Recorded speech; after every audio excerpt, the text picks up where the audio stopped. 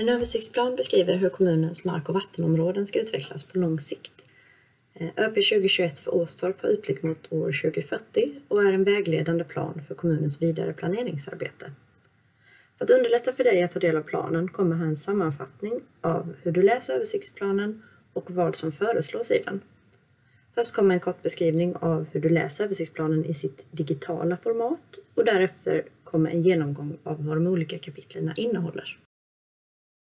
För första gången är översiktsplanen i ett digitalt format, vilket gör att du kan läsa om den föreslagna utvecklingen samtidigt som du klickar dig runt på en karta.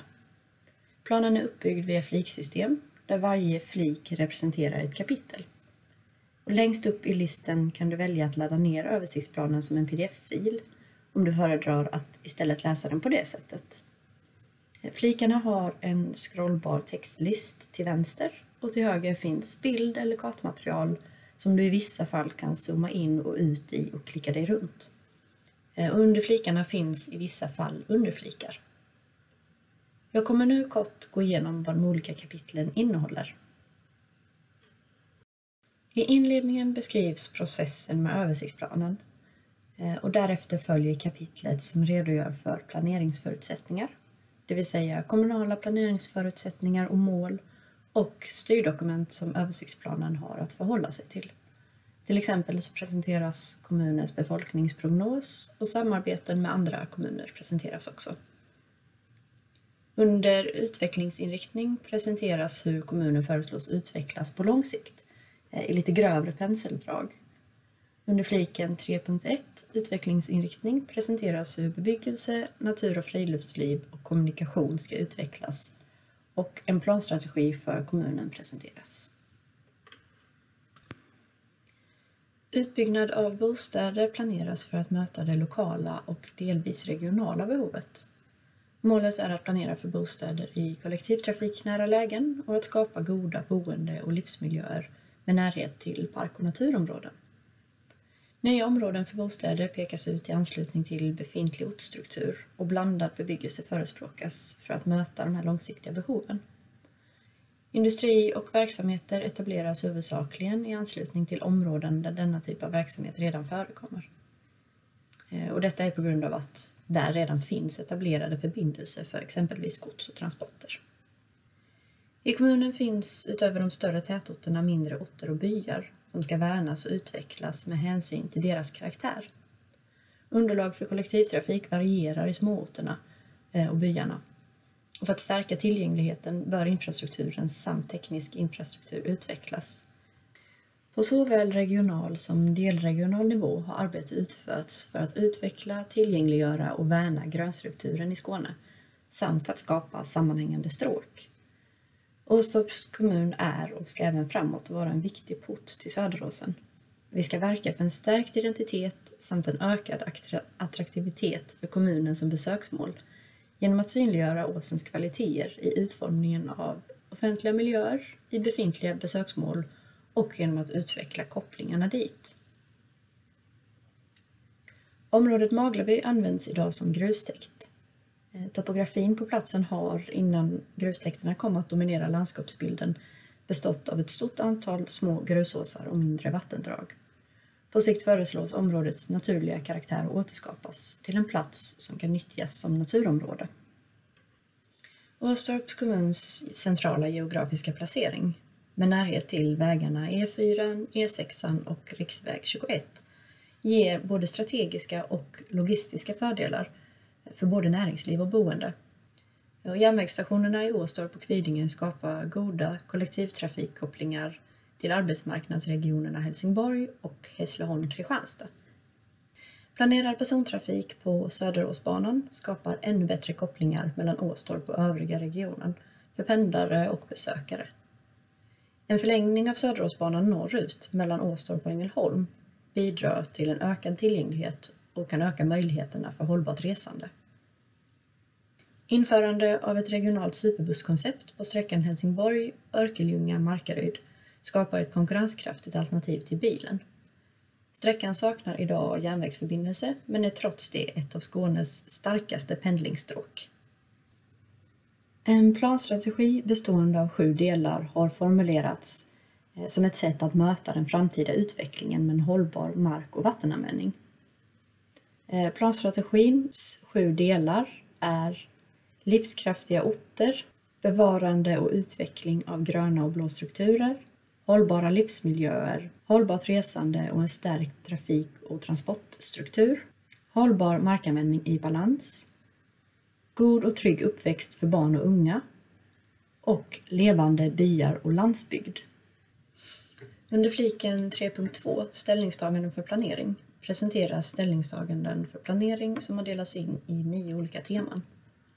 Eh, ställningstagandena ska vara vägledande för den fysiska planeringen och ge Åstorps kommun möjlighet att växa och utvecklas med hänsyn till de förutsättningar och de värden som finns i naturen och i den byggda miljön.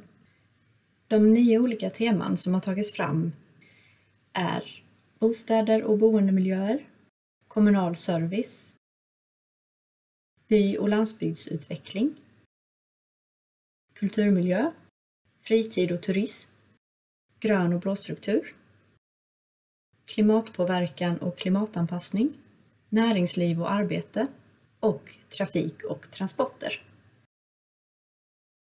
Under flik 4, mark och vattenanvändning, redovisas markanvändningskartan för kommunen.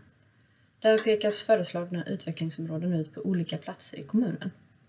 Kapitlet är indelat utifrån utbyggnadsområden som är kopplade till teman och därefter presenteras även kommunens orter med föreslagen utveckling som kopplas till dem.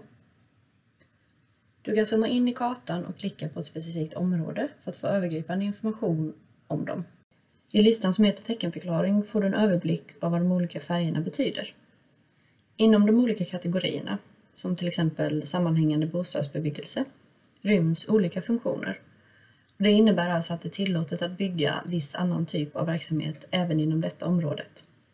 Eh, kategoriseringen anger vilken som ska vara den huvudsakliga inriktningen för området och vilka funktioner som får finnas här utgår ifrån eh, Boverkets bestämmelser. De utvecklingsområdena som föreslås är i huvudsak eh, kopplade till de befintliga tätorterna. Kommunens mindre byar inryms i bestämmelsen landsbygd. Inom kategorin landsbygd ryms exempelvis bostäder, odling och djurhållning, natur och tillfällig vistelse. För att möta behovet av bostäder för nuvarande såväl som kommande invånare föreslås ett antal områden i kommunen att utvecklas. Det finns även ett behov av verksamhets och industrimark för att möjliggöra utbyggnad för företag. Användningen av marken bygger på en avvägning mellan de olika allmänna intressena, där jordbruksmarken utgör en viktig del som behöver hushållas med. Tillgången till idrottsplatser och idrottshallar behöver utökas i takt med att kommunen växer. För Åstorps tätort föreslås verksamhetsområden främst att lokaliseras till södra industriområdet. De områden som är belägna mer centralt i orten, som till exempel område 6, Vallbo, har fått bestämmelsen mångfunktionell bebyggelse. Det innebär att bostäder, butiker och kontor ska prägla området så att det blir mer av en stadsmässighet på bebyggelsen. I Nyvång föreslås den nuvarande återvinningscentralen läggas ner och istället omvandlas till ett grönområde som kan kopplas samman med Nyvångshögen genom till exempel promenadslingor. Eh, det stora området Skönbäck, det vill säga område 11, har redan påbörjats och ett antal villor har redan byggts. I Hyllinge föreslås en del områden för verksamheter Eh, även en del områden för bostäder föreslås på ortens östra sida. Och ett nytt våtmarksområde ska anläggas som kan ta hand om dagvattnet på ett naturligt sätt. Eh, och detta kan även bli ett trevligt inslag för de boende i närområdet. Kvidinge föreslås på sikt få mer av karaktären bostadsort. Stationen möjliggör för pendling till kringliggande kommuner, vilket underlättar vardagssituationen de områden som föreslås längs väg 21 kommer att behöva ha någon form av bullerdämpande åtgärder, som exempelvis bullerplank. Eh, och det är för att säkerställa goda livsmiljöer. Bullerplank kan utformas på olika sätt med till exempel glasade partier för genomsikt eller med växtlighet. Eh, så vyn över Söderåsen kan på det här sättet värnas samtidigt som bullernivåerna sänks. Under flik 5, riksintressen och andra värden, presenteras de skydd och bestämmelser som gäller för kommunen.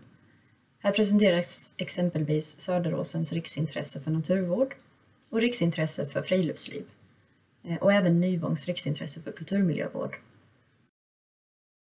Även andra värden enligt miljöbalken presenteras under flik 5.2. Här finns till exempel information om kommunens vattenskyddsområden och kommunala naturreservat. Under flik 6 redogörs för de konsekvenser som ett genomförande av översiktsplanen skulle få. Här presenteras konsekvenser för ekologisk, social och ekonomisk hållbarhet. En mer omfattande miljökonsekvensbeskrivning av planförslaget finns att ladda ner via en länk under flik 6.1. Eh, om man klickar på den så öppnas alltså miljökonsekvensbeskrivningen som en pdf-fil som man sen kan ladda ner.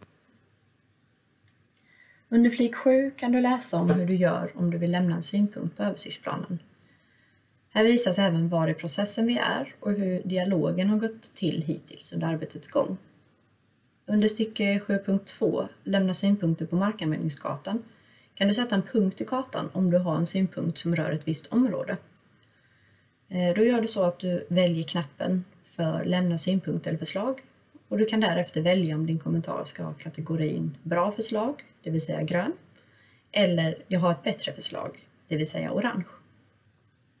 Klicka på en av färgerna och därefter kan du välja var i kartan din synpunkt ska vara. Du får därefter välja kön och ålder och om du vill får du ange vilken ort du bor i. Därefter skriver du din synpunkt i kommentarsfältet. Tänk på att synpunkter som lämnas kommer att vara synliga för andra. Du kan välja att vara anonym, men om du vill att din synpunkt ska bemötas i samrådsredogörelsen efter avslutat samråd behöver du ange ditt för och efternamn. På www.astorp.se op 2021 kan du ta del av översiktsplanen och få information om hur du lämnar synpunkter på planen. Du kan lämna dina synpunkter fram till den 21 december. Om du har frågor är du såklart välkommen att kontakta oss via telefon eller mejl. Tack för att du har tittat!